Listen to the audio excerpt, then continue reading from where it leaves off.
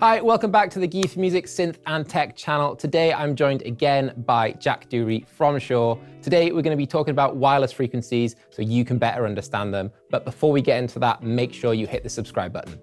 So Jack, I know with wireless frequencies, they run on a frequency band like 606 megahertz, but what do those numbers really mean? Okay, so we're talking about the wireless spectrum at this point, which sounds kind of complicated, but it's actually really simple. We experience spectrum every single day.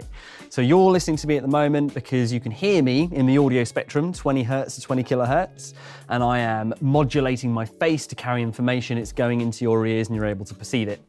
If we go a bit higher in terms of the numbers, we end up in the visible light spectrum, yeah? So we're through all the colors of the rainbow up to ultraviolet light. And like this TV behind us, for example, is taking all of those frequencies, all of those wavelengths in the visible light spectrum and manipulating them and modulating them to convey information to our eyes that we can understand. The UHF spectrum is no different. The science is pretty much exactly the same, uh, but it's just that it's beyond the perception of human hearing and seeing. So the really good thing about that is we can do any kind of wireless communication we want using this spectrum. So other devices, you know, any device in your life that does wireless communication, like a mobile phone, for example, Wi-Fi routers, baby monitors, taxi cabs, all that sort of stuff, will use the wireless spectrum, the UHF spectrum, in order to communicate that information in, in some way. Mm -hmm. And we need to divide that up. And the way, the, the, unit of measurement that we always use for these things is hertz, right? So think about 20 hertz, 20 kilohertz, that's an audio term that most of us, I think, will understand. This is just the same, but now we're in megahertz, right? So classically, we're kind of looking at the 400 to 700 megahertz range to put our wireless stuff in. That gives you an idea of where it sits. That's the licensable space that we have for wireless systems of this type. Mm -hmm. uh, and I can give you an example here. So we've got a transmitter. This is set to 610 megahertz. And if I spark this on, we can see the UHF spectrum behind me, and I get my carrier pop up at 610 megahertz down here. So that's all that that figure is giving you. It's saying which specific frequency does this work in, and as we saw in the video that we've recorded earlier, when I modulate that frequency, when I take that 610 megahertz and apply some audio to it, it's gonna move around, so it's yeah. gonna deviate from that center frequency in order to carry information. Great. So say I was running uh, two systems at once. Uh, what do I need to look out for to make sure I don't get any interference or anything like that? Yeah, good question. It's two things I need to watch out for. The first is kind of other devices. So this is kind of on its own at the moment. It's quite happy. If I was going to put a second frequency into this system, mm -hmm. I obviously, you look at how wide this is deviating, this, this you know, center frequency here. If I had my next frequency directly next to it, at some points it's going to deviate so far that it's going to interfere with that second frequency, and then I'll have what we call a channel-to-channel -channel conflict. So that's two channels that are too close to each other, just literally crossing over each other and not able to, to, to, generate a nice healthy modulation that our receiver can see. Yeah, so like obviously now we're on 610, but yeah. if we were on 609.9, that's too close. Too close, way, way too close, absolutely. So the first is some distance between our other channels. So I've got a second transmitter here, which I can spark on, and I've put this at a healthy distance. This is at 610.500. Mm-hmm. So, you know, a good kind of mega way, which is where we want to be. These two can now kind of exist quite happily, they can modulate quite happily. But then this brings us to the second thing that we need to bear in mind, which is what happens when these two physical pieces of hardware start to interact with each other. Mm-hmm. So when there's some distance, we don't really have a problem. But when they physically come close to each other, as we can see here, the spectrum starts to go a bit mad. Yeah. So this is like harmonic interference. In, in our world, this is called intermodulation. The reason why it occurs is these both have antennas. The antennas are dumb pieces of equipment. They don't really know what their purpose in life is. Yeah. Uh, and they will act as a receiving and a transmitting antenna. So they're both transmitting at the moment, but when they kind of come close to each other, this antenna says, oh, there's some frequency here that I can kind of deal with. I want to receive it, and it goes through the antenna circuitry and some maths occurs, which gives us this phenomenon. Yeah. It's important to bear in mind, because obviously this is a complete mess, mm -hmm. but if I had my next frequency here, which was my like lead vocal, for example, obviously obviously when this happens, that's going to go off air because the noise floor increases, increases quite dramatically and we now can't use that RF anymore. Yeah, this is going to completely cut it out and you won't be able to hear that vocal. Absolutely. And this brings us into this concept of a frequency coordination. Mm -hmm. There are two ways to do a frequency coordination coordination. The first is using groups and channels. So I've got my BLX device here. If we look on the front of this, you will see an option for groups and an option for channels. And the key thing here is you want to use one group for all of the wireless systems in your ecosystem, yeah? So you want to use group one, and then the first device is going to be channel one, second device is going to be channel two, third device is going to be channel three. That's maths that Shure has done and mm. put into this box that says all of those channels are far enough apart they'll work. And they are also in a kind of coordination that means when this intermodulation thing occurs, it's not going to take any of the channels out that are in that group. So I see a lot of uh, wireless systems always talk about having more groups and more channels and stuff mm-hmm. like that. Is that to do with the, the, frequency space just to make sure that you're not getting that interference and nothing bad's going to happen when you're performing? Absolutely. So as, as you go up the portfolio to like SLXD and QLXD, these are more agile devices, which mm-hmm. means that we can kind of fit them closer together and we don't have to worry so much about the intermod thing. That will mean that you get more channels in a group. Yeah. So it's a really easy way of kind of seeing that portfolio through. So if you are going to regularly be using 10 to 15 devices, or you're hoping to eventually get to that point, it's worth buying in at like a premium system now. Mm-hmm. So like an SLXD now, because that will really future-proof you and allow to grow that system and, and get to where it needs to be.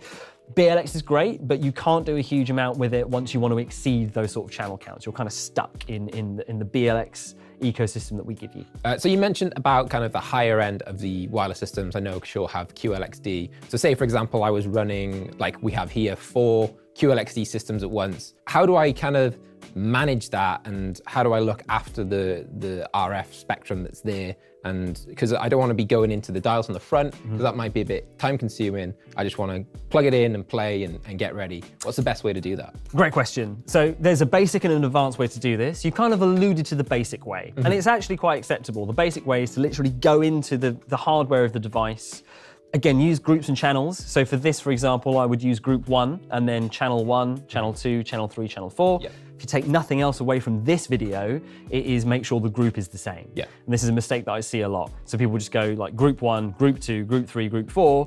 You are not in a coordinated workspace at that point. You're using four different groups that aren't designed to work together. Mm -hmm. So keep it all in one group. That's true for any wireless system out on the market, by the way, not just your systems.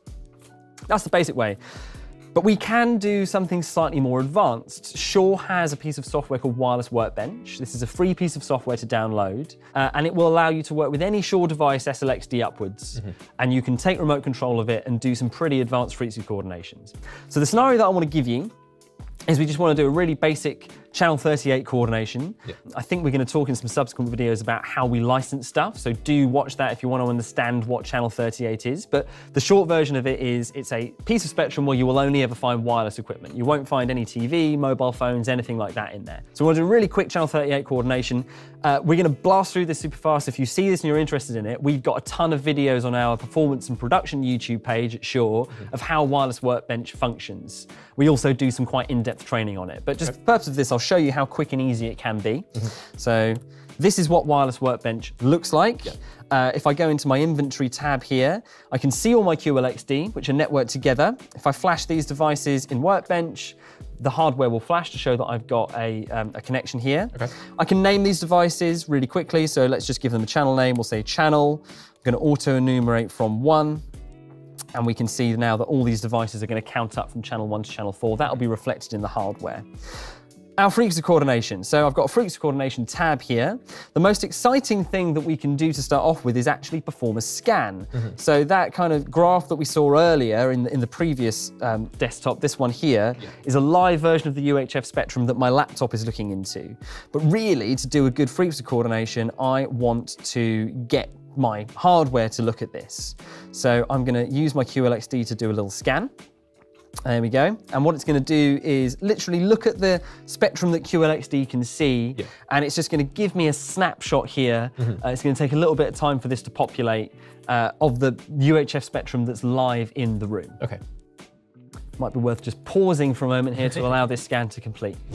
Cool, and we're back, and we've got that uh, frequency spectrum up on there. So what does all this uh, stuff mean? Right, so this is just a snapshot of, of, as we said earlier, this little graphic here. Yeah. So this is a snapshot in time of what we've got. Uh, this little squiggle line on the bottom is just a noise floor. So that's going to be built up of like my laptop and the telly, just stuff generating electromagnetic interference. We have got some interesting things here. I reckon these are definitely wireless channels of some sort, these little peaks. Uh, we've established they're not the wireless channels that are in here, which mm -hmm. suggests that somebody else on the estate is doing some wireless stuff could be in the, the showroom, for example, or something it like that. something like walkie-talkies, right? Could, like potentially, yeah. It could also be something along those lines. We'd want to go and find out what these were if we were doing this proper frequency coordination. And again, just a really, really quick snapshot. If I want to do four channels of this, based on the spectrum that I can see here, I'm going to put my software into a mode that just looks at channel 38. Mm -hmm. There we go. So that's highlighted now, and I can bring my uh, QLXD devices in. Uh, and then it's just simply a question of hitting calculate, and it's going to find me four frequencies that it thinks are good. Okay. What's interesting about this is if I hit calculate again, it will find me four completely different frequencies. Oh, interesting. Which means that there is never one answer mm. to what your frequency coordination is. There's going to be multiple answers. Um, but once we've got that, I can then just assign and deploy this coordination out to my hardware, and that's it. My QLXD will flash, and I have a coordination ready to go. Okay, so then that's set up now on the QLXD system, and that's picked basically the best frequency possible to make sure you don't get any interference or any dropouts. And importantly, I've done a scan. So I've actually shown QLXD what's going on. If yeah. I'm using groups and channels, it's just doing some, you know, yeah. kind of basic maths that, but it hasn't got any information about what the wider spectrum is. So yeah, using software like Workbench really mm. allows you to delve in and get good coordinations. Yeah, otherwise you're just kind of guessing, right? Completely, yeah, absolutely. Amazing, thank you so much for that. I think I better understand the wireless frequencies and how they work. So what would be your kind of just quickly top tips for frequency managing? Uh, always use groups and channels um, and make sure that you're using one group and, and, many channels within that group. If you're using multiple groups, you have not got a coordinated space. Um, definitely think about your freq coordination. Again, don't think about it too much, don't stress about it, you just want to get on stage and perform. But if you don't manage this stuff correctly, even if you've got the most expensive wireless system in the world, it's probably not going to work for you so well. Um, yeah, and I think that's it when it comes to freq coordination. Just do a good one, do think about it, but don't worry too much about it. Amazing. So if you have any extra questions, please leave them in the comments down below. And yeah, thank you for watching and make sure you like and subscribe and we'll see you later. Bye.